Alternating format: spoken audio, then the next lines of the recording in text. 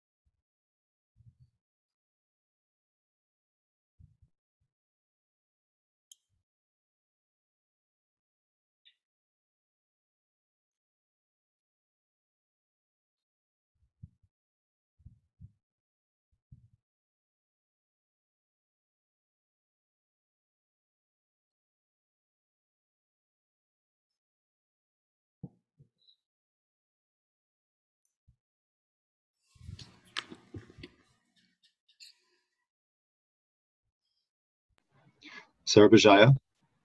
Yes. Um, one thing, one thing I remembered, um, you'll have to tell me when you want me to go to when you're presenting the slides. You'll have to tell me uh, when to go to the next one. I mean, I'll probably be able to know, but just because I'm going to have control over that. okay.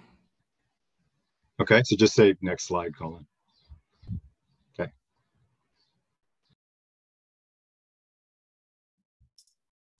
All right, let's get started. Good afternoon, everyone, and welcome to our event on ableism and the labor market. Why are 48,000 disabled workers managed out of work every year? My name is Christian Schuster. I'm a professor in public management at University College London and academic co-director of the UCL Policy Lab. And it's my pleasure to chair today's joint event with the Association for Disabled Professionals, the UCL Policy Lab, and the UCL School of Public Policy.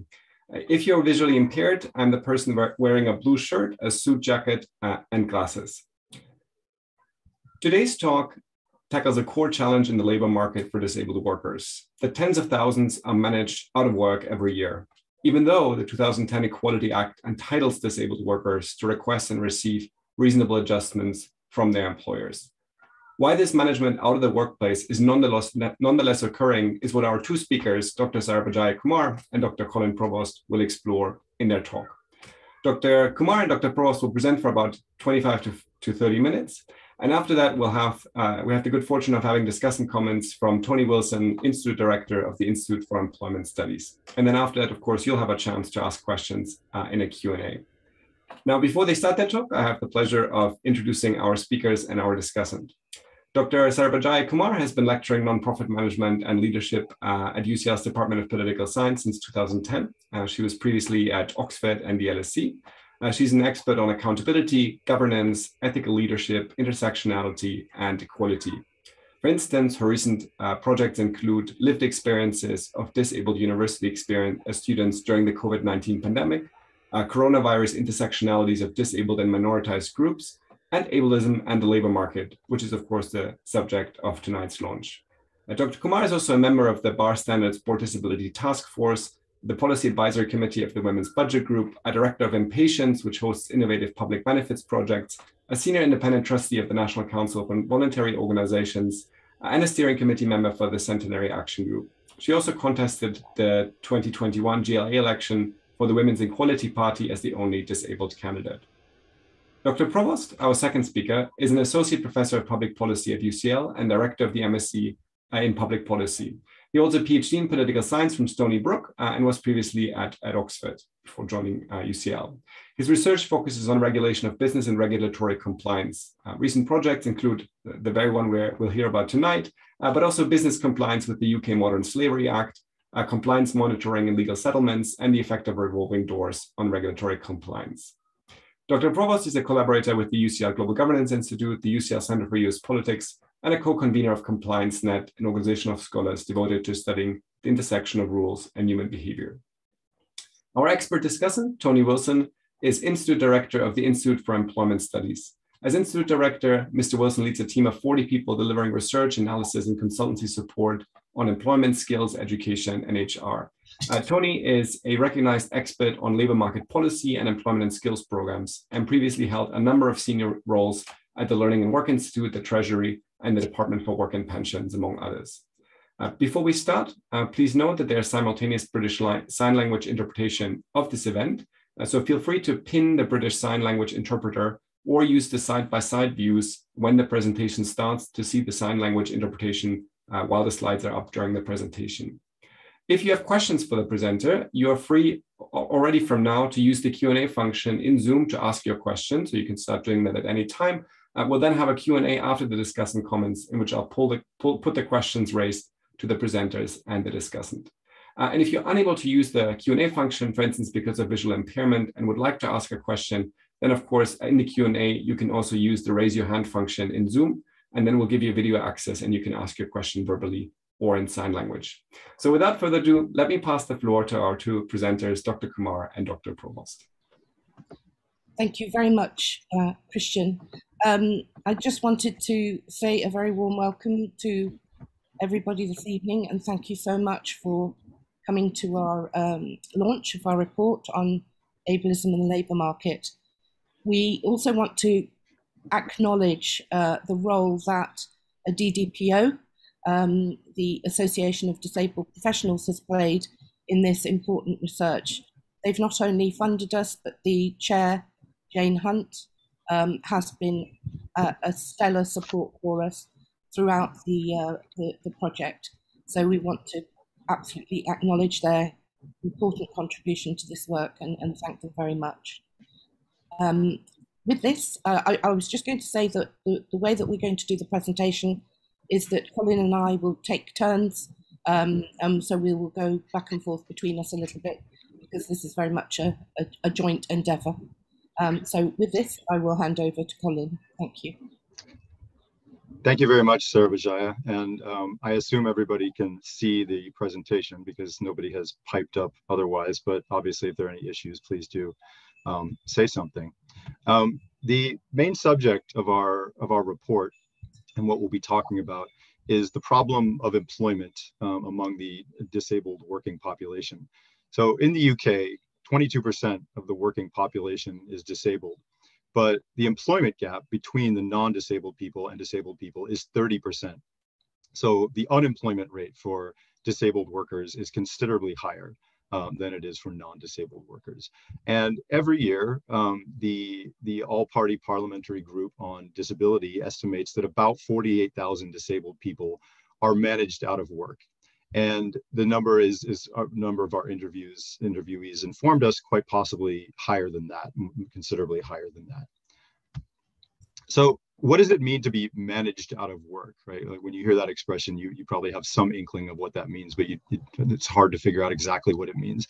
Well, as many of you will know, disabled workers require adjustments in the workplace, right? And, and these could be a, a wide variety of, of adjustments. So um, some of them might need physical access to a building, right? But sometimes, most of the time, it's it's far less complicated than that. It might be a matter of al altering the lighting in a room.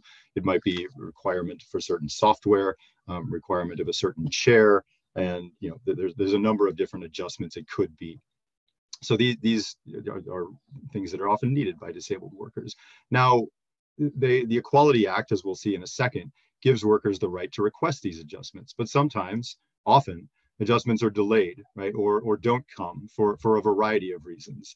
And when they when they workers don't have their adjustments, it's difficult for them to work as effectively as if they were in place. And of course, when they don't have the reasonable adjustments, the perception of performance suffers. It, it, could be that the actual performance suffers as well because they don't have those adjustment, adjustments. But the perception of performance suffers. Workers might end up taking sick leave. They might be gone for a while. Um, this might cause the line manager or the employer to say you're not doing your job properly, um, which leads to further acrimony about the presence of or the absence of reasonable adjustments. And the employer at some point might feel justified by the perceived poor performance in terminating the employment. So this is one example, but this is a, a, frequent example of, of what it is to be managed out, what it is for a disabled worker to, to be managed out of the workplace. So as I briefly mentioned, the, the 2010 Equality Act gives disabled workers the right to request reasonable adjustments for their work so that they have the right to go up and, and ask for these particular adjustments so that they can do, do their job better or do their job appropriately and level the playing field. Um, if they don't get them, right, or if they experience managing out, as we just talked about, they can bring a claim before an employment tribunal um, if they don't have their reasonable adjustments, if they're not granted, or if they or if they lose their job. Okay, um, and this is the primary avenue of, of recourse, right? Their recourse is judicial. Um, there's there's no reasonable adjustment regulator that inspects the workplaces. Um, there, as as we'll talk about, there are some voluntary programs that businesses can join, organizations can join, in order to show that they're trying to um, that they're trying to offer reasonable adjustments, so that they're doing a good job at this and we'll, we'll go into that in some detail.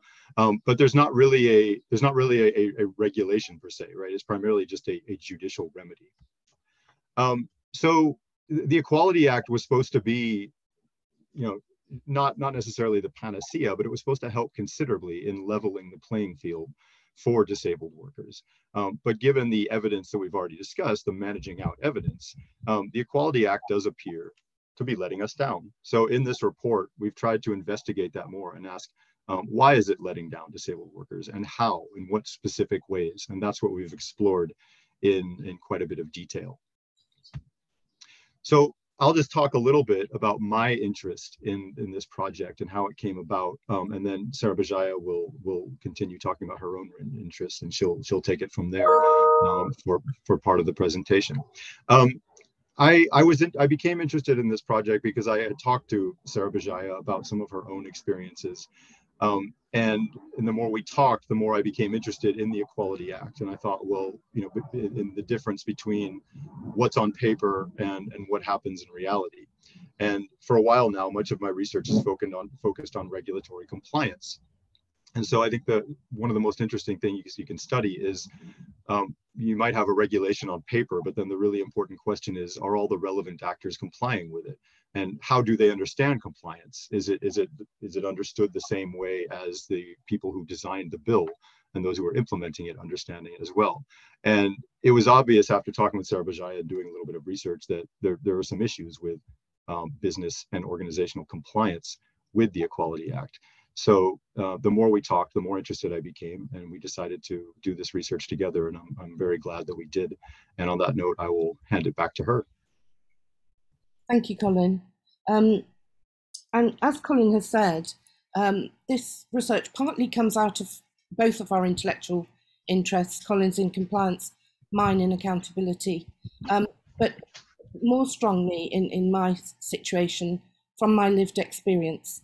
And my lived experience of uh, was that I was managed out of a role that I was both that I enjoyed, I was good at, um, and I found it quite shocking. And it happened when my invisible impairments became visible. Um, and so, for me, I wanted to understand whether my situation uh, with that particular employer was unique, or it or not. And uh, as a result of sort of initial research, I found that it was far from exceptional. And as Colin has already stated, um, the APPG's work, uh, that, where they commissioned uh, several professors, uh, one of which was Kim Hoque, um, to look at this issue, they estimated that around 48,000 uh, disabled people per year are managed out of, of their workplace. Um, and that was pre pandemic. And during the course of our research, many of our expert respondents actually challenged that figure and said that it was likely far higher, uh, which was extraordinary um, to me. So really, I wanted, and, and with Colin, with his expertise, to explore that given that the legislation is in place um, uh, to protect people uh, with, with protected characteristics, disabled workers, why is it um, that this is, this is happening? Uh, today. So that, that was what informed our interest in the research. Uh, next slide, please. So one of the um, key findings uh, we, we found was that organisational culture is critical um, in, in this process. So there are drivers for inclusion for disabled people, um, and there are barriers to inclusion. Um, and these include compliance, so very much Colin's area, but fear of litigation versus a sort of strong business case for inclusion, higher productivity, retention of creative and valuable employees, and harmonious working relationships. So there was this tension between legal compliance, fear, and organisations that actually valued disabled people. The barriers to inclusion, we found, included what some of our respondents uh, called a failure of imagination. There was also a lack of personal experience. Um, so people, apparently two thirds of the public fear uh, talking to a disabled person. They fear offending them. They fear talking to them. Um, so there's a lack of personal experience. And what one of our respondents called disability apartheid, where disabled and non-disabled people are, uh, don't talk really uh, about disability because there's there's a defensiveness, a fear of wrongdoing, um, particularly by line managers and employers. The other issue that came up quite often was the perceived costs of reasonable adjustments, the issues of health and safety, and the futility of individual action um, without with and paper policies without leadership and uh, absolutely implemented policies in organisations. The other issue was general attitudes and assumptions about disability and uh, prejudice, basically. One of our respondents um, called this chair envy. And, and you know, if, if a disabled person for musculoskeletal reasons needed a particular type of chair, um, there were concerns by their line managers about, well, if you want that, everybody will want that, and that will impact on team uh, team morale. And there were issues of favouritism. If we give you reasonable adjustments, that will be discriminatory and unfair on disabled on non-disabled people. I'm not sure, uh, Colin, if I've got to the end of that. I'm afraid I can't see, but I'll, I'll leave you to to check. Okay. You, you there was bullying and harassment. Um, yeah. Was if you want to say that, yeah. Yeah. So obviously, then the next one, the next key issue, and it was a a big issue, was bullying and harassment. And I guess it won't be a surprise to many of you here that disabled people are subject to more bullying and harassment from line managers, but also sometimes co-workers than non-disabled colleagues. And this is often comes out in staff surveys in, in many organisations. Um, so that's in a way not a surprise. And such discriminatory behaviour may be direct or it may be more subtle, although intentional. For example, being singled out for criticism, being micromanaged, the subject of derogatory comments, patronised, ignored, harassed while on sick leave, mocked for their disability, expected to perform unreasonable tasks, and excluded from social work events. Can be used as a deliberate strategy for managing people out. And I have a quote here, which was from one, our, one of our respondents. Bullying from line managers, definitely, unfortunately, something we've seen fairly regularly. I did have someone who had managed to get hold of internal emails from his company, and some of the things they were saying about him, the line manager to his colleagues, was really shocking. And then there was another case with people making quite derogatory comments to the individual. It does tend to be, in my experience, the line manager making these kind of comments about people's disability. And some of it was really, really horrible, actually. The other issue that we came across was to do with human resources and occupational health. And when they work well, they can actually transition and manage people back into the workplace. However, very often They're instrumental in the process of managing people out. HR professionals often provide advice to line managers, but we found that they lack information, knowledge, and or training about the Equality Act and reasonable adjustments. Another quote. In occupational health, professional training, and certainly in HR professional training, you seem to be able to be qualified without knowing anything at all about making reasonable adjustments which seem to me to be entirely wrong. The next slide, Colin, is changing company culture. Yep. Yeah, thank you. Yep. Um, so the next finding we had was around uh, changing company culture and company thinking. So to prioritize disability equality, organizations need to have inclusive policies and importantly, inclusive practices for instance, reasonable adjustments need to be accommodated when disabled workers request them. And it's also important that line managers listen and show support. And I quote The impairment is kind of almost irrelevant. It's the barriers that people experience. Your job as a manager is to remove those barriers so they can be the best they can be. And so it's educating people and removing the fear and showing them a different way of looking at the problem that they perceive, hence rooted in the social model. Organisations with best practice have moved away from legal conceptions of reasonable adjustments for disabled workers to workplace adjustments available to all employees, regardless of whether they are disabled or not. Another quote. I guess if you have kind of a management culture that assumes every employee whether they are disabled or not, is going to work in different ways, be helped by different types of things, and just generally kind of find their way slightly differently, and that you want to help them to do that, then adjustments break down barriers associated with disability, or just one part of the general approach.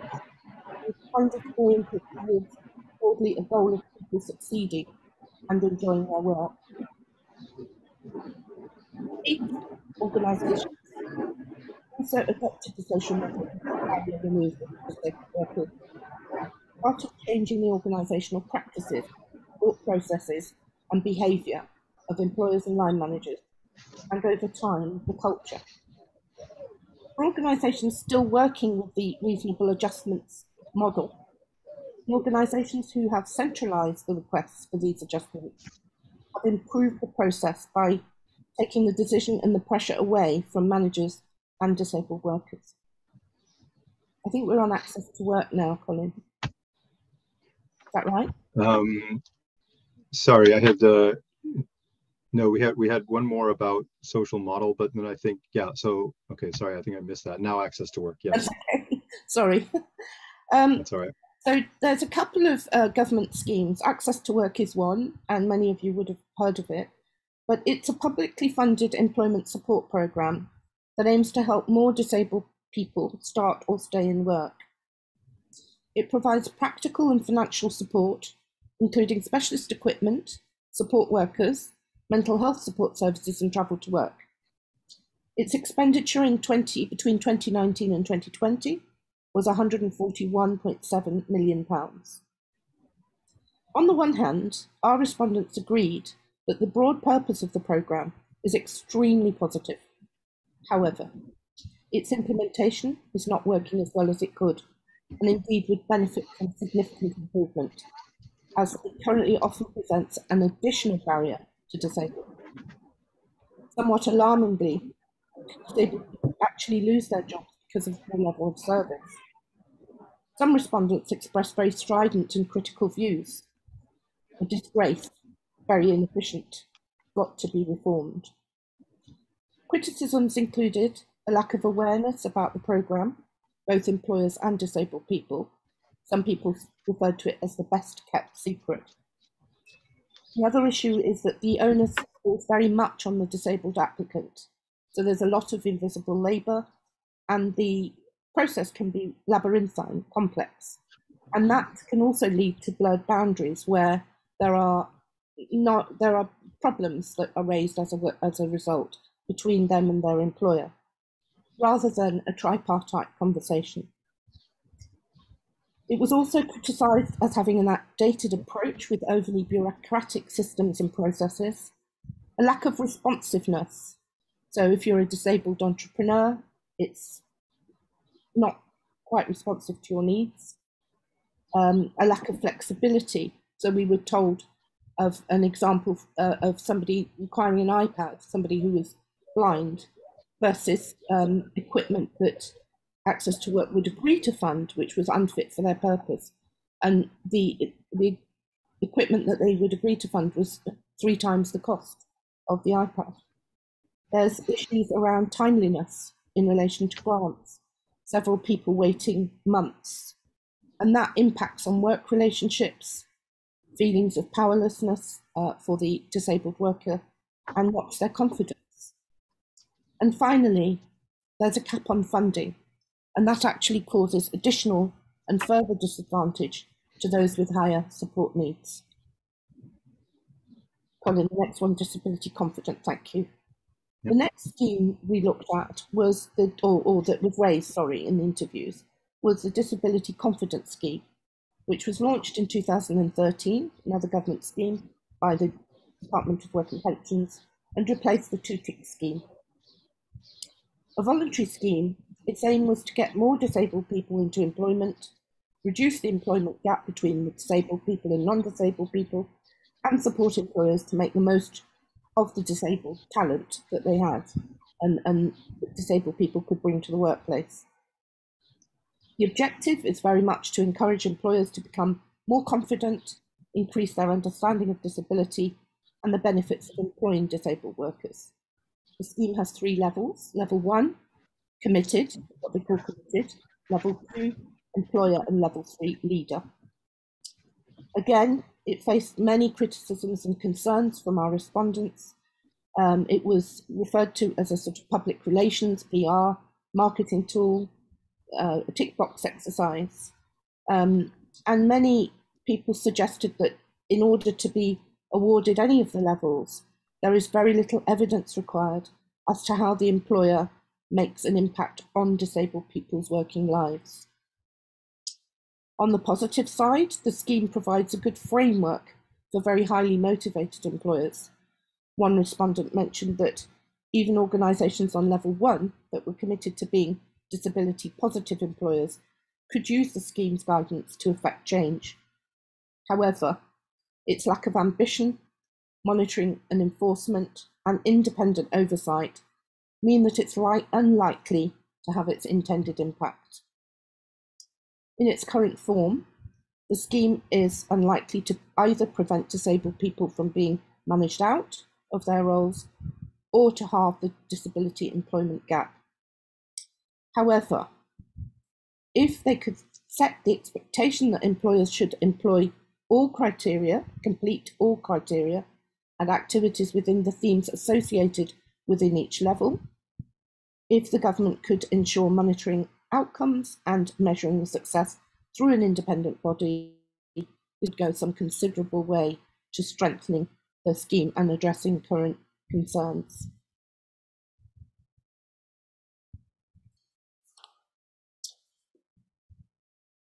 Next slide.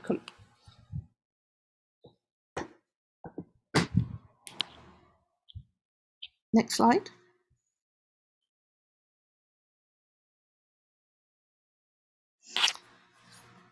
Um, finally, we looked at the role of the voluntary non-profit sector and um, obviously the sector itself employs disabled people and is not actually immune to some of the criticisms that other sectors face.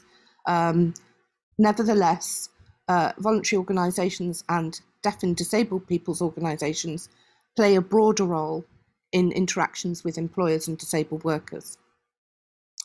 Based on their research, these organisations provide very valuable information, advice, services, and support to individual disabled workers and other organisations and employers. They also campaign and advocate on behalf of disabled people and develop bespoke programmes to help organisation nor cultures become much more disability positive. We particularly heard about specific programs that had helped disabled graduates in particular um, get not only into the labour market but actually uh, impact on uh, change on their employers. And of these voluntary non-profit organisations and these deaf and disabled people's organisations, many people have expertise both by experience and by knowledge. Thanks, Colin. Over to you.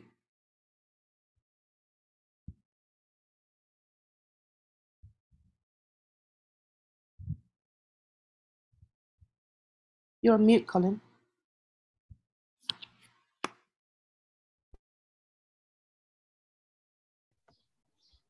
Okay. Can everybody still see the presentation? Okay. Thank you. Um, just, okay. Right. So unions were are, are, quite important. We we spoke to a number of representatives from unions, um, and they they came up repeatedly. And generally, their role is positive, although uh, not not all the time. But um, unions provide extra support to workers, right, um, as, as, well as important assistance. So we're, we're all familiar with the, the level of, of enforcement that worker that, that unions will often provide in, for worker rights. Um, but beyond that, in a perhaps more informal role, um, unions provided a lot of information to employees regarding obtaining reasonable adjustments um, and say navigating employment tribunals if, if it ever came to that. Um, but before it comes to that, right, it's not always necessarily obvious how you get reasonable adjustments. Um, the Equality Act says that employees can ask their employer um, about reasonable adjustments, but then sometimes the employer doesn't necessarily have the, the information either. And um, that's that doesn't make the employer a bad person just means that maybe they're just not familiar with it they haven't had to do it before. So unions are there to help them as well. Um, so we often think of unions as being kind of part of a an adversarial process sometimes between employees and employers but in this case they could play a, a bit of a bridging role in terms of providing information to both employees and employers um, to help them understand how to get reasonable adjustments and um, and, and therefore be able to do their job more easily. Some of the really compelling evidence that we learned about unions as well is that um, em employees, disabled employees, were much more likely to self-report their disabilities um, than those without union support. So something that was touched on, we, we talk about in the report as well, is that many disabled employees are are afraid of what might happen if they if they disclose their disability, if they ask for reasonable adjustments, um, because because they're afraid that maybe they will be managed out or, or, they'll be given a tough time or or be told any of the things that that Sarabajaya has already talked about. Um, union supported employees were less likely to have this fear. They were more likely to have some more confidence um, go up and disclose their disability and, and then ask for reasonable adjustments as well. Okay, um, so so there was there was that there was that advantage um, to having having unions present. Um, there were some limitations though right there were some some limitations in what unions can do and and some of this doesn't necessarily have to do with things that are their unions are doing wrong necessarily unions are more likely to be present in in larger organizations right for for the bigger employers right uh, in, in, employers that probably have hr departments and, and occupational health and have more institutionalized processes for how employees are managed and, and assisted right? So small and medium enterprises are, are often less likely to have um, to, to have union protection and so with this, uh, you have you have employees who maybe are also more reluctant to disclose their disabilities. And as you get to smaller um, organizations, uh, sometimes you're more likely to see precarious work, right, among these SMEs. And this is where um, unions are also less likely to be. And this is where the situation was often the worst for disabled workers, right? They, they, the priority of reasonable adjustments just was not there in um, in organizations that ran by zero hour contracts right, or that had precarious work. And um, it was something where disabled workers uh, struggled more to be seen in those particular instances. Okay, so you know unions are are more present in some organizations than others, and um, and and the, the, work the disabled workers in those organizations benefit, um, but they also they feel their absence in the smaller and medium enterprises as well. We also heard from our interview evidence that um, unions could provide a guide for employment tribunals. They, they could help out, um, but at the same time, their legal advice was often somewhat limited. And that's, be, that's partly because union officials, if you think about the fact that they already do quite a bit and here maybe they're offering information about reasonable adjustments they're offering information about employment tribunals they're essentially generalist you know people who are who are asked to give very specialized advice in a range of different functions and it's difficult for them to give very specialist legal advice that you would normally expect from a solicitor so we heard that unions would often advise settling um, when maybe it wasn't the you know, in an employment tribunal case. Although, to be fair, we heard that settling was what was advised by most people, by solicitors as well. Um, but uh, but sometimes the the advice that the the union officials would give would be a little bit limited. And um, the fact that union officials have to step in here and give advice about something like this also tells you a little bit about um, the state of legal advice, right? And how, how it's not always very forthcoming uh, for disabled workers when they need it. So, and that that moves me into the subject of, of legal recourse, um, which is uh, which has to do with what what disabled workers can do if they've been wronged, if they if they believe they've been discriminated against in the workplace, if they believe they've been deprived of earnings because they've been unjustly dismissed, right? So, um, as I mentioned at the beginning of the presentation, there is no disability regulator or inspector. There's no um, there's no regulator who goes around making sure that organizations are providing reasonable adjustments or that they are not discriminating against disabled workers. And if we really want to get into that, um, there, there are a number of ways that organizations can make it appear that they are complying with disability law when really they're not and they're doing things like like managing out. And, and sadly that was something that comes back to Disability Confident we thought as well was that, that that's not always um, sometimes it's used as as marketing as Sarabajaya said.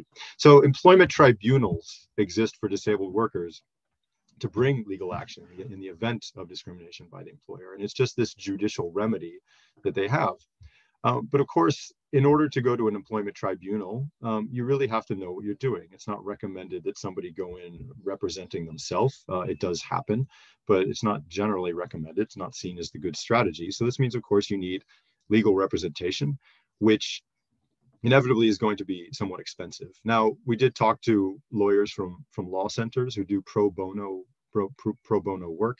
Um, and these pro bono legal services do exist in and around the UK but they're they're they're not they're not equally distributed throughout the country, right? So there's a um, dare I use the term, a little bit of a postcode lottery. I'm sure it's not exactly that, but but there, there, in some places you might succeed in getting in getting pro bono legal services, where in other places you might really struggle to find somebody who, who can represent you. Now, prior to 2012, it was somewhat, it's hard for me to say to precisely what extent, but it was easier to get legal aid from the government um, which would provide you with the ability to get to, to get these legal services. But legal aid um, has been cut back, and so it's it's now unavailable basically to all but but but the most impoverished disabled workers right so so the, the the threshold for getting legal aid is quite low so a lot of people find themselves kind of in the middle um, where they they don't make enough money to get good legal representation but they still make too much money to qualify for legal aid um, or other types of legal services. Right. And the reality of employment tribunals is is probably quite different from what um, what was imagined by those writing the Equality Act. And you know, and when I say what was imagined originally, was, was that the but by giving workers the right to go to employment tribunals, there's a sense that here they can enforce their rights. If they think they've been discriminated against, they can bring a case, they can bring their evidence, um, they have to bring their case in a timely fashion, of course. Um, but uh, it, it, they do this in order to in order to enforce their rights. Now, um, the employer is almost certainly always going to have more legal resources. They're going to be able to hire a law firm, right? Um, and they'll be more they'll be more easily able to withstand the legal fight, right? There's not going to be there's going to be a variety of people involved a lot of the time, and and so it's not going to the burden is not going to fall on any one person quite as much on the organization, right? Whereas when an employee, a, wronged disabled worker brings a case before a tribunal, um, the burden will fall upon them, right? And and sometimes in the most traumatizing ways. So when this happens, when it, when an when an employer when an employee brings a case, um, the employer is often going to deny that there was any disability to begin with, and there and, and this this comes back to whether or not the, the the employee has disclosed their disability at the very beginning.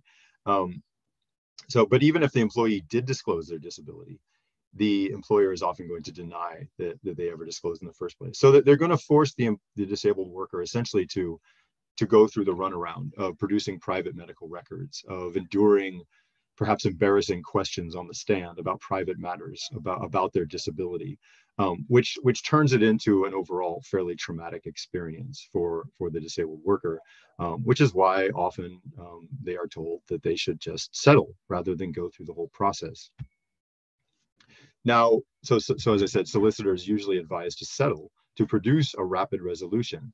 Um, but that's how that has its own problems as well, right? Because if you settle before hearing all the evidence, this possibly limits the monetary award, uh, depending on the evidence presented already. It has a it limits the impact on case law because um, the Equality Act, the way it works, is that it's continually built. The precedent is is set by by further cases, but settling limits the, the, the ability to, to have any impact on case law. And very often, our interviewees told us as well, um, most of the time, non disclosure agreements are going to accompany settlements also, which will further limit the publicity. It, it prevents the uh, disabled worker from talking about the case. Um, it really prevents further accountability um, from being from being being brought forward. So so settlement a settlement might make the experience less unpleasant for the disabled worker, but it also has these limitations. Okay. Um, so, so as we can see, there is quite a bit of um, expertise needed here, and that's why um, you know it sometimes might be a bit of a struggle for union officials to to have all that expertise present. So we're going to talk a little bit about disability and COVID-19 now, and then finally after that we'll move into a little bit about what we should do before we um, before we conclude the presentation. The we we asked our interviewees about what the situation has been with COVID-19. What what is the um, what is the reality now like for disabled workers? And what we found was that there's a bit of a mixed picture. picture. Um, there are some benefits. There's also some costs, and and there's still uncertainty about what it means for um, for for the future of work. Now, the perhaps most obvious benefit is that disabled workers who previously were always told that they had to work in person, um, that they that they had to be at the workplace, um, now had the benefit of remote, flexible working, right? And so this made life a little bit easier. They didn't necessarily have to take sick leave. Um, it, uh, it it was it was a more accommodating way of working. But at the same time, um, masks and social distancing and, and, the fact that we had to really make sure that we didn't come in close contact with people meant that reasonable adjustments were still difficult to obtain. And if it meant that reasonable adjustments had to be brought to somebody's somebody's place of living where they were working, um, then it might be difficult to do that because of the elements of, of social distancing. Okay, so and disabled workers who who were not able to work right remotely um, who had to come into the office were at a disproportionate risk for getting covid-19 um, so for those in precarious work and as we we found out that there was often an intersectional uh, intersectional element here as well. So black workers black workers who were disabled as well um, were at higher risk and um, so the, these are these are some of the, uh, the, the very notable downsides of of the pandemic for disabled workers. But beyond that, um, we also heard some evidence that redundancies had increased, and that that sometimes disabled workers were the first ones to be made redundant, um, and that in many instances they were aware of this. So this instilled a new fear of dismissal in which once again workers maybe feared revealing their disabilities or requesting reasonable adjustments. Um, and so then that leads to the performance issues which lead to the cycle of managing out as we've already kind of gone through. Now um, while there is some fear eh, with regard to declaring disabilities. Uh, we also know from from the interviews that um, there's been a big increase in discrimination claims right? And um, and there have been new, many new tribunal cases. And as uh, Sarah Sarabajaya told me just today, as a matter of fact, it seems that um, COVID-19 is now um, being, it, it, it's, it's now going to provide the grounds for workers to um, to bring discrimination claims more easily who have been discriminated against for disabled workers. Okay, so all that said, um, COVID has forced a, a, broader rethink on work, as, as we all know, right? We've all had these these questions about what does it mean to work from home versus working at the office. Um, but disabled workers had been grappling with these questions for a long time, and many of them had been arguing that well, we should be able to work from home. Um, so there's a little bit of vindication in, in, in, some regard for them, but at the same time, there are these other problems as well.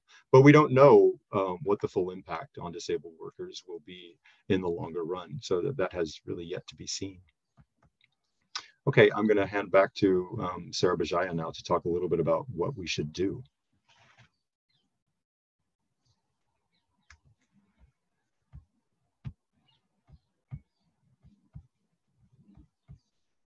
Sarabajaya, you're on mute, I believe.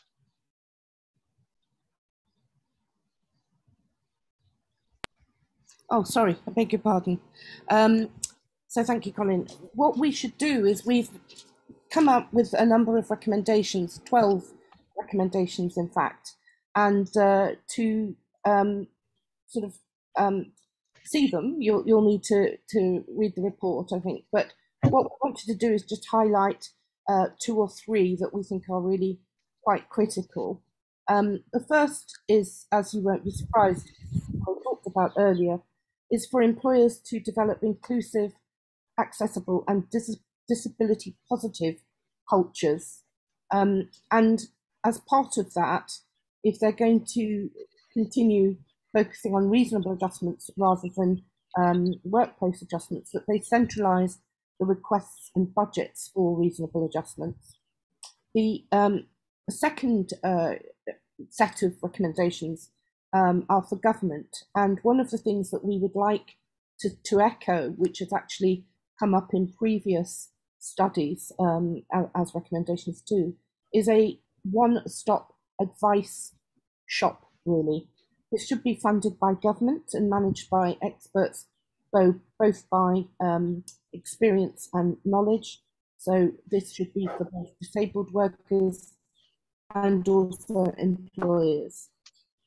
And the third um, set, if you like, of, of recommendations is about legal advice, and that we feel that funding should be provided for legal representation to disabled workers, and disabled workers should also be present unemployment tribunal panels to ensure greater panel diversity. We understand from research and from our respondents that this was the case previously, and um, we think it should be um, for the full, full list. Uh, Colin, next steps?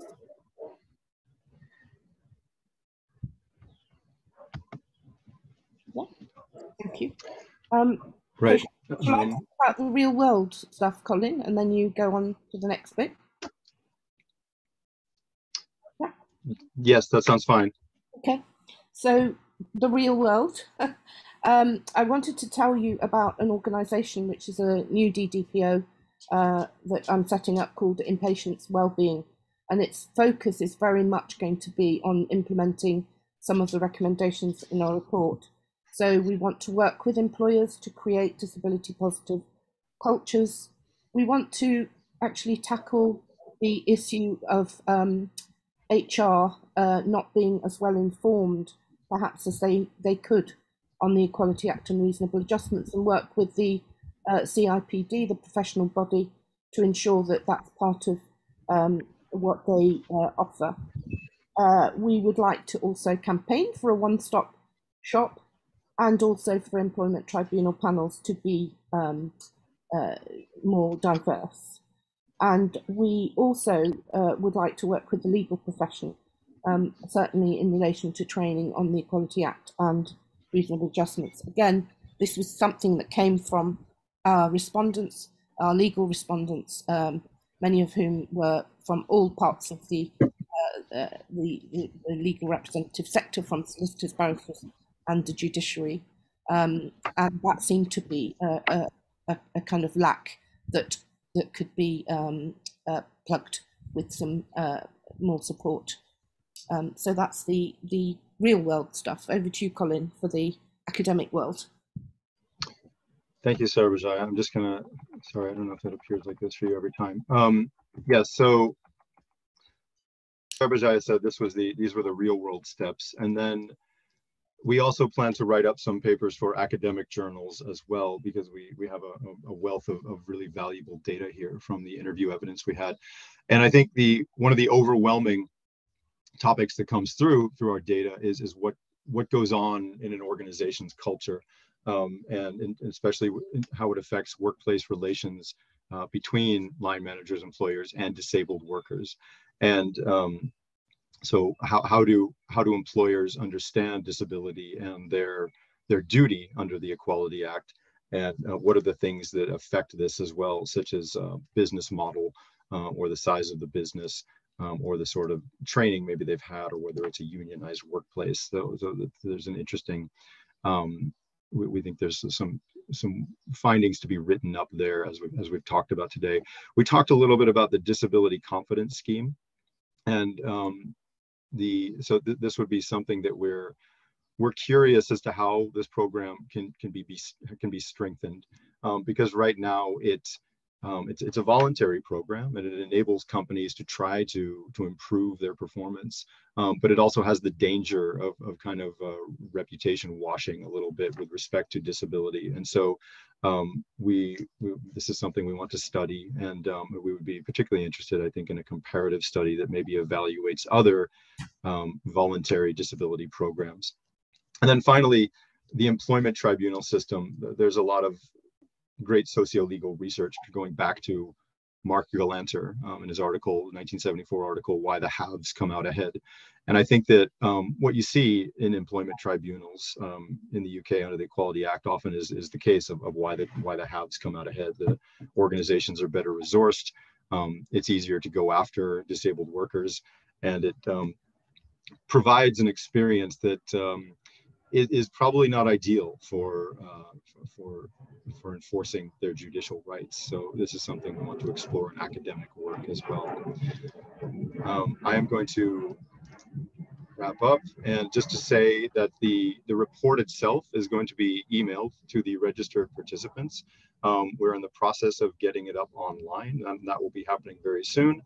And just to also ask you to please listen to our podcast on UCL's Uncovering Politics. Um, which was recently recorded. And you can find um, Uncovering Politics on all major podcast providers. But if you also follow UCL SPP um, on Twitter, you'll you'll see it advertised there as well. Um, that's all. Thank you very much for your attention. And I'm going to stop sharing now and hand over to uh, Tony Wilson.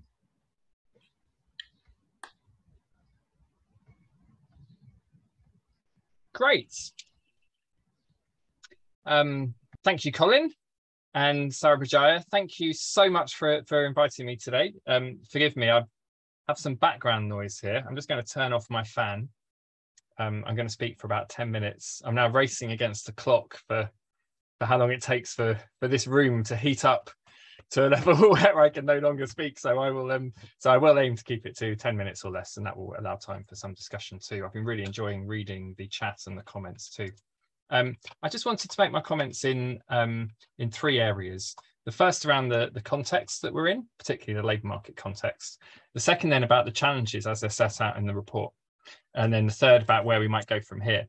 And I'd, I'd like to start just by just by um, thanking Sarah and and and, um, and Colin for, for producing this report. I, I, I had the opportunity to read it um, uh, a week or so ago, and uh, I think it's excellent, and it brings together range of really useful insights from the literature and new findings from speaking to people with lived experience and people who work in um, in the sector and um, and who work in you know supporting employers and at employers. Um, and so I think it's hugely helpful addition to the debate. And there's very and really there's nothing in here that I wouldn't agree with um, uh, and that I don't think will help to to to to, to um, help us to to start to improve um, uh, uh, to, to, make the labour market a better place and to make work more inclusive and make work better. I should also say it's great to see a number of familiar names, if not faces, on the invitation on, on the cast list today. And I think many of you are much more expert than me on on some of these challenges, the opportunities, and what we can do about this.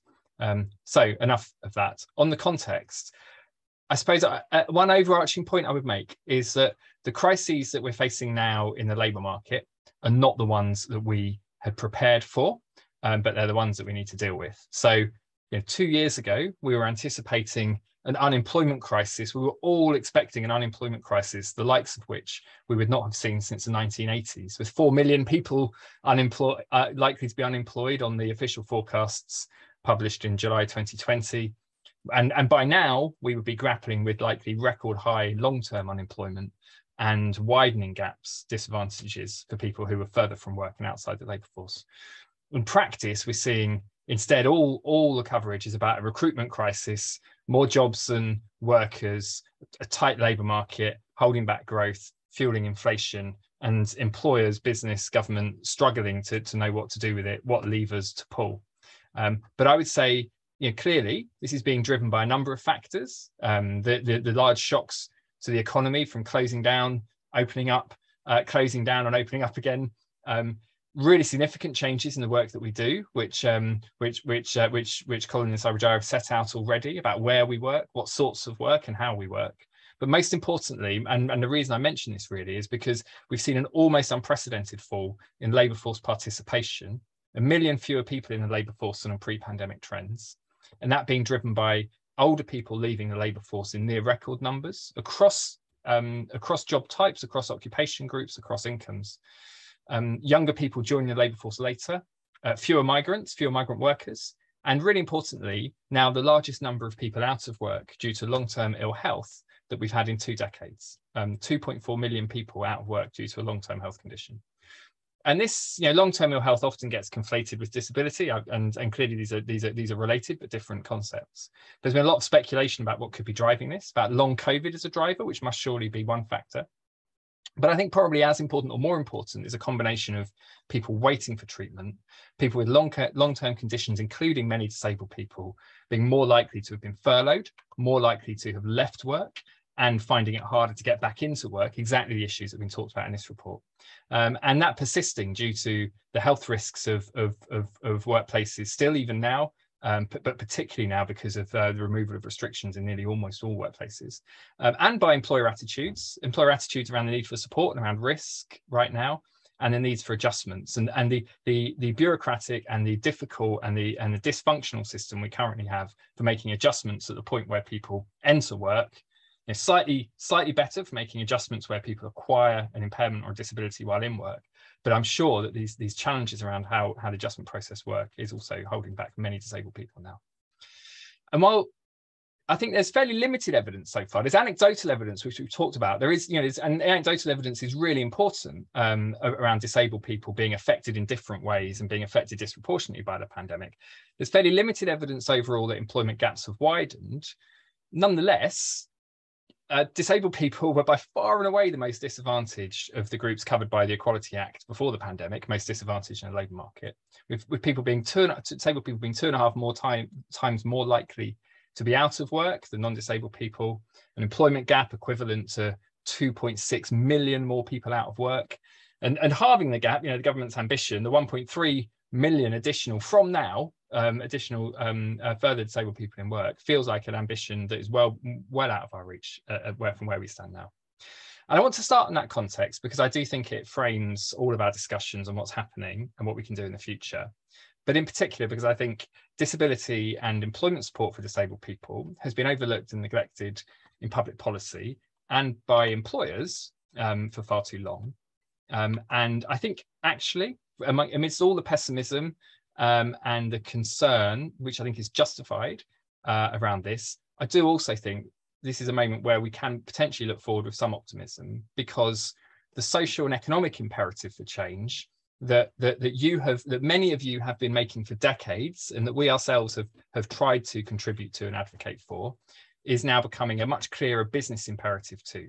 Having a diverse workforce changing how we work to accommodate people um, uh, to accommodate everybody who wants to work and and feels able to work is an opportunity now for businesses. It's not a problem to be managed. Um, or indeed a problem to be managed out, which um, you know, which is where this report um, you know clearly started from. You know, the, the, the um, how how disabled people are often managed out of work. So just moving on to the report, I mean, this is why I sort of welcome this work, because I think there is, for all of the issues raised, there's an underlying optimism here that we can change things. And I think I'd limit my remarks really to three areas. The first is the point, and reiterating points that have been made. The first is the point around culture change. The second around how we equip and support employers. Uh, inevitably, I, you know, forgive me, I've tended to focus mainly on employers and sort of public policy drivers here. Um, and thirdly, uh, how we enforce this. And on culture change, when you have the opportunity to read the report, I think this sets this out really clearly. Uh, the good practices as well as too often the bad. And I think the biggest challenge we face here is that there's far too little of the former and too much of the latter. We are seeing more appetite, more interest, uh, more focus and engagement from employers, but it's clearly not enough. And I think this starts at senior leadership levels, really importantly. I think actually the government's disability um, not necessarily disability strategy, but some of their earlier white papers, diagnose, uh, green papers, diagnose some of these issues relatively well. They're short on solutions, but set out how how we need to drive wider culture change um, across organisations and across society. But critically, we must focus on how we can build capability within HR, and then from that, how we can address what we often observe at IES as a as a, as a rhetoric reality gap between HR policies and often board level ambitions and what and what line managers actually do. And this kind of squeeze middle of line managers is often unintentional uh, uh, lack of capability or lack of skill, but it can also reflect biases and it can also reflect um, a, you know a, a, lack of understanding about how how to make adjustments, how to support people, how to how to be a supportive employer. And again, this is set out really well in the report. The second area then around what employers do and how we can better work with or support employers, the important distinction is made, which is talked about in the discussion too, um, about this distinction between how it's framed in the report between kind of reasonable adjustments and workplace adjustments. Now, how we can move to an approach which is more about trying to make work more flexible by default rather than simply or only, I think we must, we need to do both, but rather than only focusing on how we can make a reasonable adjustment to a given job role, it must be, I think must be a greater focus of all of our attention in how we work with employers we're seeing right now a, a, huge momentum, a huge opportunity here in work that employers are doing around working hours, working patterns, and how they can embed um, different ways of thinking about flexibility to accommodate people who want to work at home and at work, who have caring responsibilities, who want to work fewer hours, who have different needs. We must embed in that thinking about disability um, and about ability and how we can better support, um, how we can better design work differently uh, and as well as support individual adjustments at work. And I think this does get to the heart of the sort of the social rather than the medical model, which I think you know is, is, is referenced in the report, and I think which we would all want to advocate for. I think that we also have to address, and this is perhaps touched on a bit less in the report, what is often a kind of toxic um, mix or nexus around sort of health management at work, um, leading into absence management, which then leads into performance management. And and in my decade in the public sector, I saw this most clearly, but it's prevalent in other industries too. And I think it's particularly risky where employers don't um, top up sick pay or where they employ people in insecure contracts or where they're more hasty or more ready to let people go when when these issues um, when when people start to have extended periods of absence and um, and I think you know rightly the report calls out occupational health and HR as disciplines as professions and uh, and and and I think more positively the need for us to invest in those and to try to support people who are working in those industries who who who are focused on how we can support you know um, better quality work, better workplace support, improved health management at work, um, and and greater levels of economic and social inclusion. I think that we also need to really recognise the diversity of needs here and the needs to do more and provide more support for those that need more support. Um, so my experience as a as a as a, as, as a disabled middle class senior man whose whose disability has not in any way limited my work, or at least not this work. I can't, I wouldn't be able to join the army, the police, or fly an aeroplane, but it's never affected my ability to to work in public policy or social research. My experience is hugely different for those of other people in other sectors. And so I do think part of this is about sectors and it is about socioeconomics or class. It's about the types of work that people do and it's about how they're employed. And it comes back to many of the many similar issues around what makes work meaningful and rewarding and secure for people around power, control, autonomy, support at work. Um, and I think this also gets to the heart of our experiences of, of, of the impact of hybrid working post-COVID. So we have to do more. We have to view this, I think, also as a sort of socioeconomic and class issue about how we can make work better for, for, for people in low paid, less secure work, how we, you know, how we can address some of those underlying drivers that can really undermine people's ability to stay in work. Um, final point then is around enforcement, where I would say I think um, you know we do you know we really need to focus on this isn't all about culture and practice. Yeah, we have gutted labour market enforcement over decades, particularly over the last decade. And I think you know the health and safety executive has a key role here in supporting management standards and supporting good health at work, not just good safety.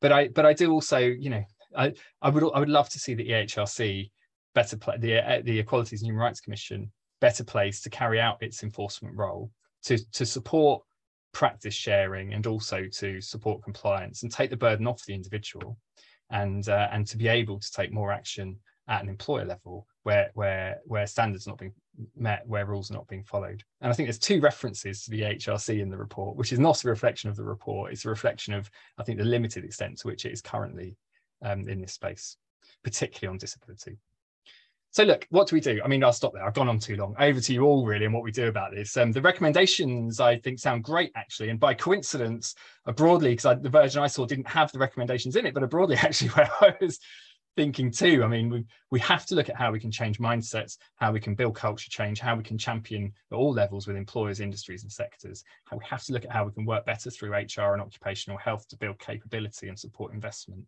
Um, but I think, you know, and but critically, I think we also have to look at how we can develop support services. And this was one of the key recommendations by the sounds of it, support services that are not based on products like access to work, but are based on individuals and their needs, and where disability expertise is embedded in employment and skills services. And disability champions, advisors, advocates, intermediaries, whatever we want to call them, are working across services with employers, with individuals to help people out of work, to find work, to help employers to design jobs differently to help people in work to stay there and hardwiring this into how we work locally because so much now is is being devolved and delivered through local partnerships as well as national policy will be key. But look i think it, it, this is this is such a difficult this this is an area where where it feels like we've had so we we, we have been shouting in, into a void and there's been so much um uh yeah so many issues and challenges we've rightly identified in this report for so long. But i do think there's an opportunity now as well for us to try to affect change and try to influence um for, for, for better work in the future. Thank you Thank you so much, Tony, for uh, for taking the time for these comments. Really insightful. Thank you so much for um, for joining us today. Um, so we now reach the the Q and A um, part of our our event today. Um, as mentioned at the beginning, if you would like to ask a question, please put that into the Q and A function, uh, and then we'll be very happy to put that to the presenters or to our discussant. Um, if you are visually impaired or can otherwise not use the Q and A function, also feel feel free to use the raise hand function in Zoom and then we can call on you and you can um, turn on your video and you can ask the language verbally or through sign language if you like. All right, so let me start with the, with the first couple of questions that we've received. First question is one for, for Dr. Kumar. Uh, for the organizations which were better at supporting with reasonable adjustments, what were some of the approaches, processes, or policies that seem to have worked well? Were there any examples from the research?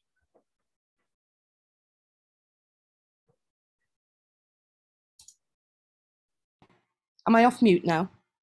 You're off mute, yeah. yeah. Thank you. Thank you very much for that question.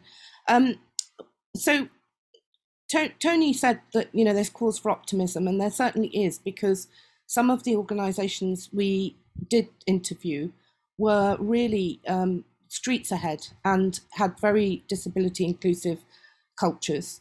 Um, I talked about uh, them in, in relation to adjustments, but they they viewed talent, and this is how they viewed us as workers' talent, as all talent. So it didn't matter, you know, they, they couldn't really answer questions about disabled workers and non disabled workers because they said, we just don't see people like that uh, in that way. What we see is we have talent, and what we see is we need to, to ensure that that talent can um, bring their best self to work or, or whatever, you know, the phrase phrase is.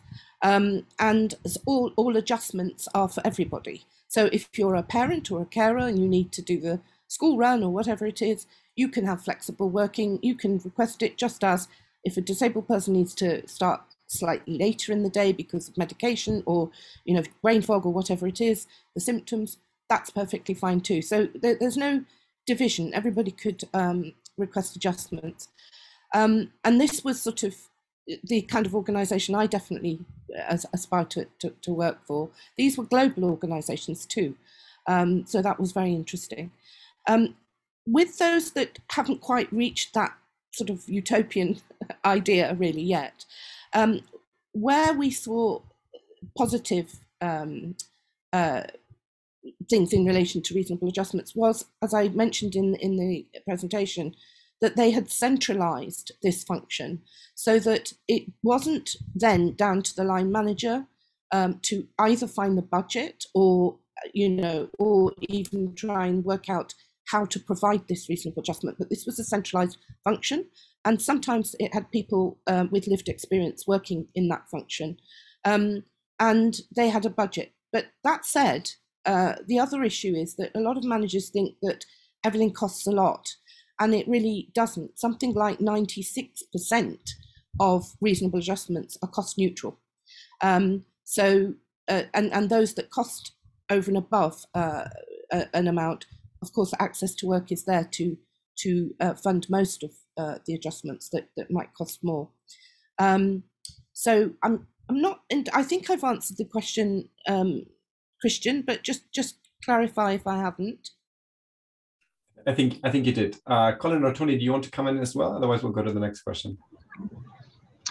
I'm I'm happy to come in briefly, just just to say that um, I, I, think a lot of our recommendations that we put forward have to do with with with training and giving giving advice and giving information because another theme that just along the lines of organizational culture that it kept coming up was that um, you might have great policies and procedures on paper but if um, if there's no one there to enforce them properly or, or who doesn't believe in the cause of, of disability equality um, then then you're going to often run into these problems with reasonable adjustments where they're not prioritized and it leads to this sort of downward spiral. And i the, the number of times we heard of instances where somebody had a line manager who was really supportive um, and then somebody else came in to replace them and it was a totally different sort of line manager. And you really start to think um, what is the use of these policies if it's just totally up to the um, to, to the nature of the, of the person the person who's in charge right? So so that leads you to think well obviously we need to do more in terms of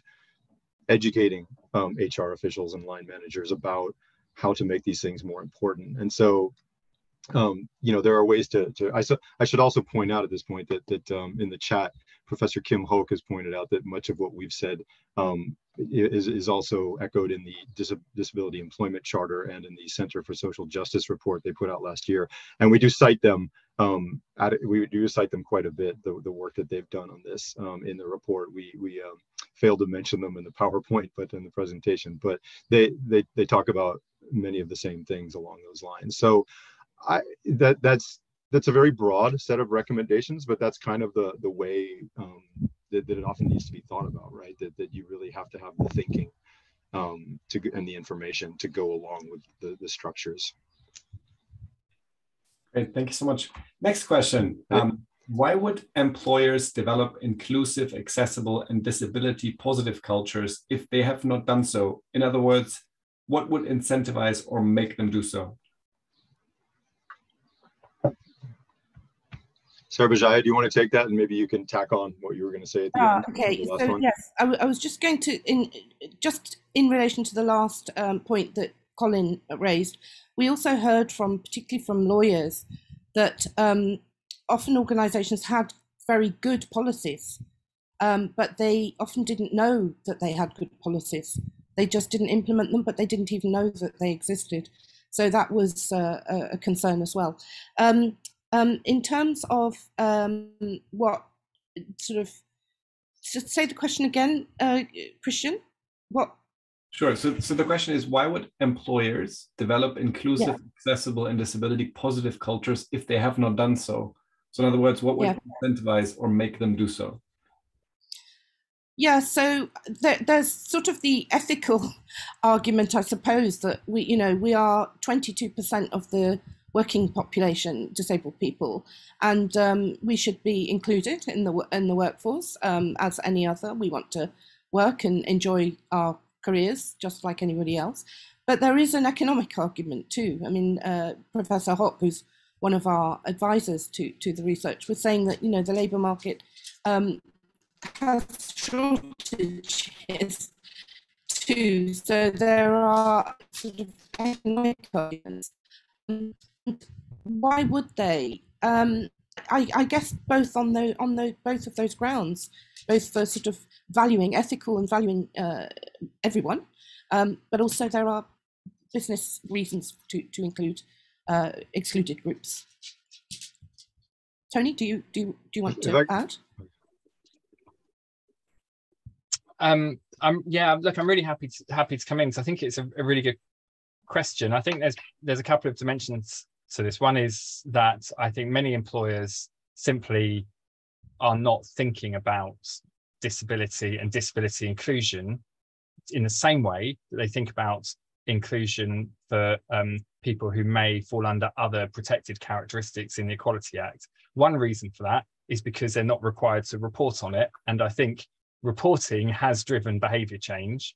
And another is because there isn't enough public focus and attention on some of these issues, which is a point made in the in the conversation as as well. And I think it's something that we've you know grappled with for, for, for years. I'm always tempted to ask Kim, Kim who knows more, much more about this disability at work, working through his work at Centre for Social Justice on their on their um, uh, commission last last year. But so there's a set of factors around. I think employers aren't thinking enough about it.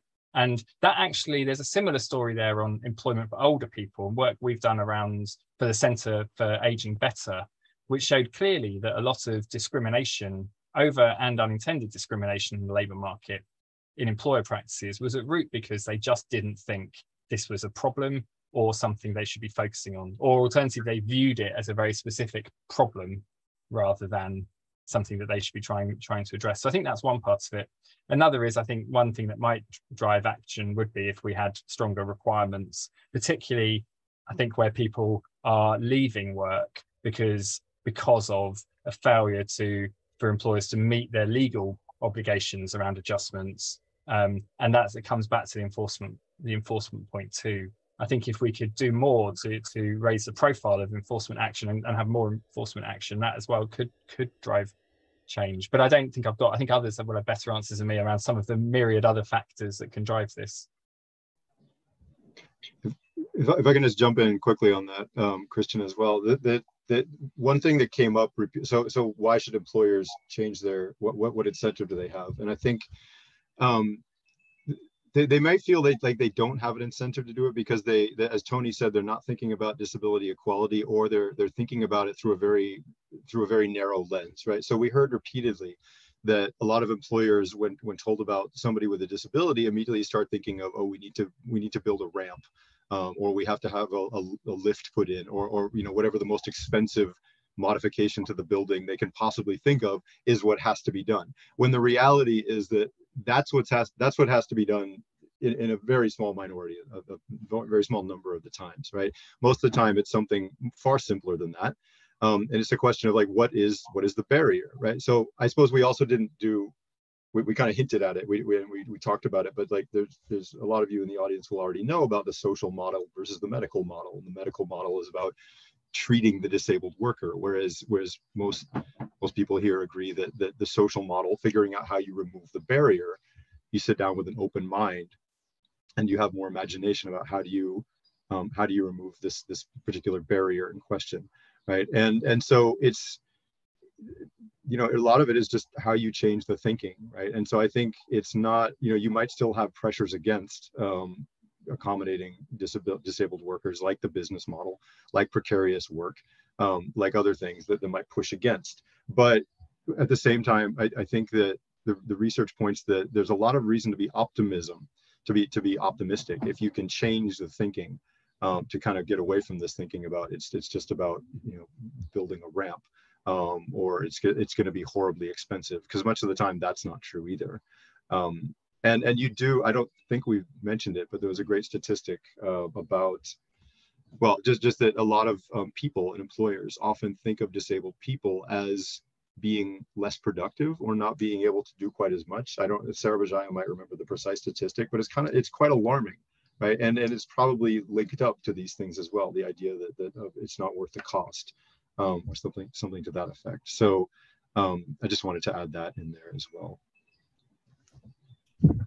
So much. And Then we have a, a related comment um, um, and so you can, if you, if you want to, you can expand on that as well, which is uh, I applaud all the actions and ideas proposed, but I don't see strategic direction that will persuade a minister or employer. I'm looking for much stronger disability leadership that can influence public thinking and so the political and employer groups. It's a comment more than a question, but I was wondering if anybody would like to, to pick up on the comment and, and reflect on, on how to generate that, that public disability leadership.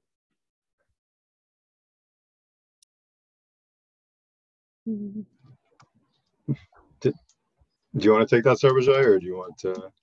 I'm reflecting on it. you go ahead. Well, I it, it's a fair point, and it's something it, it's something that we did think about a little bit, and it's something that um, yeah, it, it it it's a fair point because the what we're talking about is not um, is not an easy thing, right? When you're talking about how to change change the thinking of employers, so that's why we we we decided to adopt um, proposals like having one stop one stop shop, you know, sort of place where you can take a lot of the great evidence that's already out there. As we pointed out, there's a lot of great organizations that are that are putting this evidence out there, um, and you can make it more readily available. I think the challenge is like how to kind of get employers to look for it and and how they can they can do that.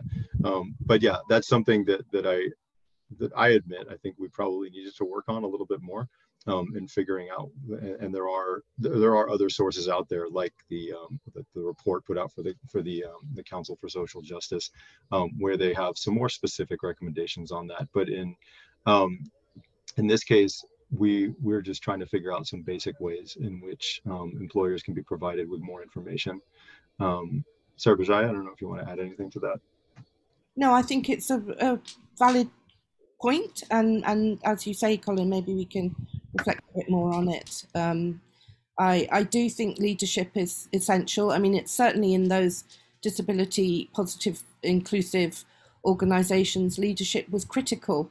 Um, but also the other important um, aspect that we came across was employee resource groups you know, so disabled worker groups or, you know, uh, all affinity groups, they were very um, strong and, and instrumental in linking with their leadership, whether it was at the governance level or the senior leadership level, and, and had routes to um, conversations about changing their organizations. So, yeah, I think um, that's a, that's a very important aspect as well. Uh, is the employee resource groups um, and and yeah, the, the other thing that came up quite a lot was, or, or a number of examples were very uh, large global organizations who have actually um, either leaders who have uh, personal experience of disability, so they may have a relative, a child or something,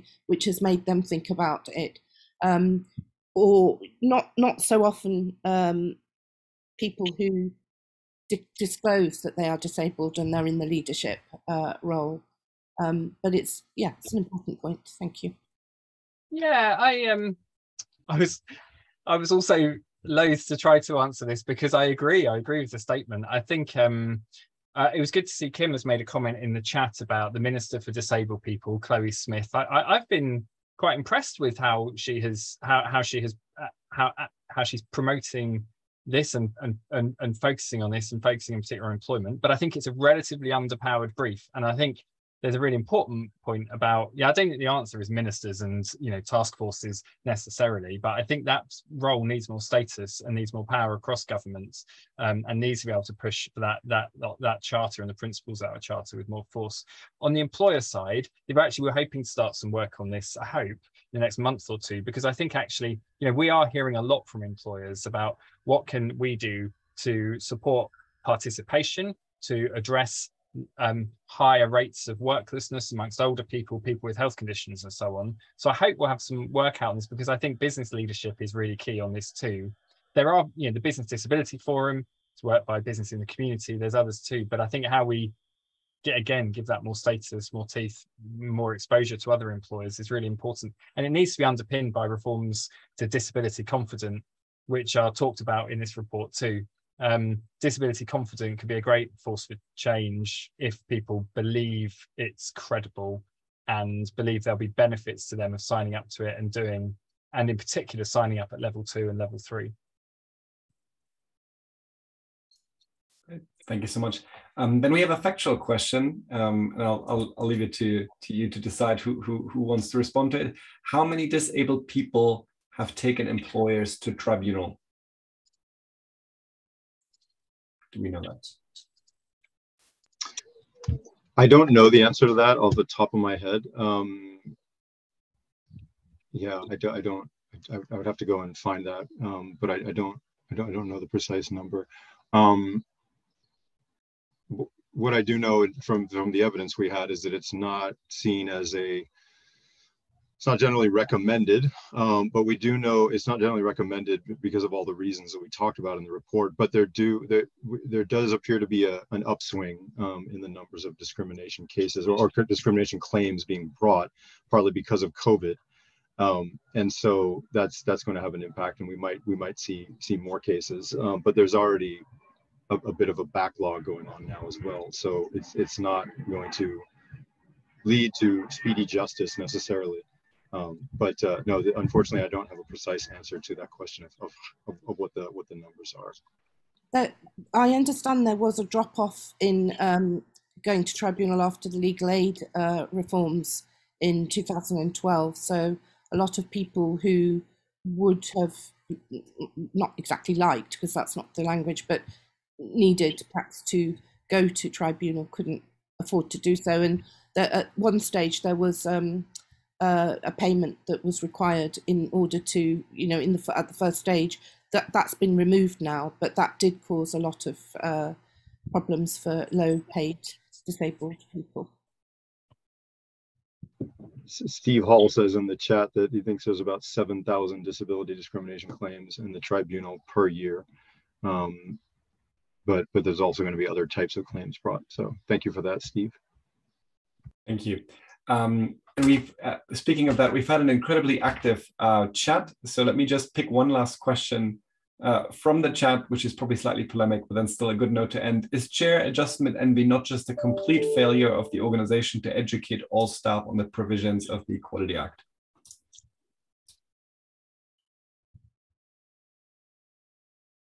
I missed the beginning of that, Christian. I'm sorry. Could you repeat? Yeah, that? sure. So it, the question is: Is chair adjustment envy not just a complete failure of the organization to educate all staff on the provisions of the Equality Act?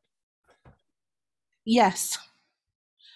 Yes, uh, absolutely. And uh, you know, I was thinking about this um, chair envy business. I mean, I, you know, when I was in uh, my last organisation, I actually had to have a chair, a specific chair for my musculoskeletal condition. And um, I didn't, I wasn't, uh, uh, that chair envy wasn't part of my um, experience. But what was interesting was that the specialist ergonomic chair was much cheaper than um, the standard chair. So um, you know, but but yes, absolutely, it is it is a failure. And also, you know, a lot of the comments that we heard that line managers say um, about, oh, well, this will impact the team. You know, we can't explain this to the team. Um, you know, the team won't like it, other people won't like it. I, I'm not sure whether this was their own kind of anxiety or this was a, a, just a perception or, or, how much was it reality um, and but yet it's very important because it permeates the decisions that are made so uh, yes, I, I would. And absolutely, and employers who who raise concerns about this, their their reason will often be because the chairs for everybody else are rubbish, or mm. because we're not prepared to give other people flexibility around their shift patterns or more notice on when they'll be required to work or greater control and autonomy in their work. And I think this is a really it is it gets to an important point, which is there are things that should be workplace adjustments which make work, I think, better and more accessible and more rewarding and enjoyable for all of us. Um, and then there are things which are required adjustments that enable disabled people to participate in the labour force on the same basis as people who don't have those impairments or non-disabled people. So, so there's a distinction there. I think we should be trying to raise the bar for making work better across the piece and making sure it's inclusive and can support participation for, for everyone who wants to um, who wants to work. I just add to that, you know, I was writing the report with one of my, well, all of my fabulous support workers, but one of them is Anya and she's German. And she was telling me that her friend works in, in a German company and they give them all uh, ergonomic chairs because back pain is a massive cause of sickness. Um, and it, it makes business sense actually to, to, to do what Tony's just said, you know, making it uh, better for everyone, but also uh, adding the specific adjustments. So yes. Wonderful. Thank you so much. Uh, we've reached the end of today's event. Uh, also on behalf of the Association for Disabled Professionals, the UCL Policy Lab, and the UCL School of Public Policy, thank you so much, everyone, for joining us tonight. Uh, thanks a million to the two presenters for taking the time to present us today. Thank you so much, Tony, for taking the time for the discussion comments. Um, and thank you so much overall for what was a wonderful event, also with a very active chat um, which was great and enriched a lot of the a lot of the discussion. So thank you so much, everyone. Have a great evening. Thank you. Thank you, Christian.